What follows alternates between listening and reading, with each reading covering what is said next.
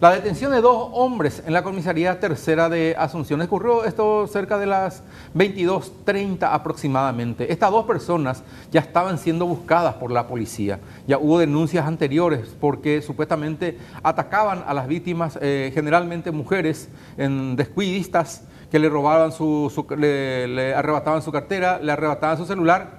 Eh, cuando hacían este hecho comenzaban a correr y a, poca distancia dejaban supuestamente un vehículo Toyota IST con chapa terminación 080 creo que es.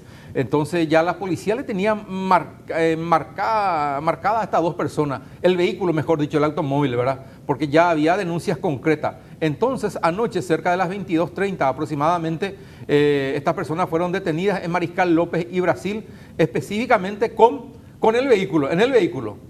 Verificaron y efectivamente encontraron una mochila y en la mochila estaba la camiseta esa roja. Ahí estamos observando como evidencia momento en que ellos, porque ¿qué hacen? Roban, ¿verdad? Después corren y, que, como, y como tienen una mochila generalmente se cambian. Cambio de vestuario. Cambio de vestuario. Y en este caso cambio también de estrategia, porque las víctimas siempre denunciaban que eran dos personas a pie dejaban el vehículo a media cuadra aproximadamente, corrían y se subían del vehículo y lógico, la policía venía a buscar a dos personas a pie que realizaban o cometían hechos delictivos y nunca le iban a encontrar, ¿verdad? Pero ya le tenían marcadito y anoche cayeron, mira con las evidencias, dinero en efectivo, más de un millón de guaraníes, dos carteras de mujeres, celulares, mochilas con remera y se trata de Eugenio Manuel Mereles Miranda, de 37 años, y Adalberto Iván Segovia La Rosa, de 25 años eh, de edad. Estas personas ya están detenidas en la comisaría tercera acá de Asunción a cargo de la fiscal eh, Claudia Aguilera. Vayamos a escuchar al, subcomisario Felipe Vera.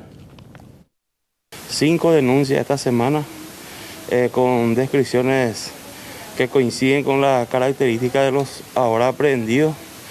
También se encontraron remeras que se presume que utilizaron en atracos anteriores. Las víctimas aparentemente incluso reconocieron cuando estas personas fueron detenidas, ¿no? Efectivamente, eh, el día de la fecha, 21 a 30 horas aproximadamente, eh, se presentó una, una dama acá en la guardia manifestando ser víctima de, de robo agravado en la vía pública. Y cuando estaban formulando la denuncia, se procedió a la aprehensión de estas personas sobre la calle Brasil. Brasil y Mariscal López.